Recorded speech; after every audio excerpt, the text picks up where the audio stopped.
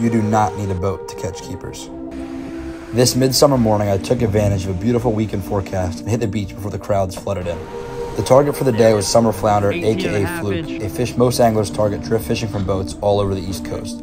Armed with a light tackle setup, a quarter ounce jig head, and an assortment of Berkley Gulp soft plastics, I started searching the surf for some hungry fluke. Bites were not hard to come by, but most fish were short, tearing up my baits. But after 30 minutes, I eked out the first keeper of my limit All right, well, there he is. That is keeper. and grinded through a dozen more shorts.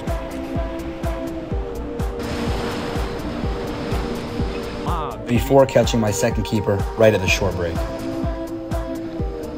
Oh, yeah. Oh, yeah, baby. Woo.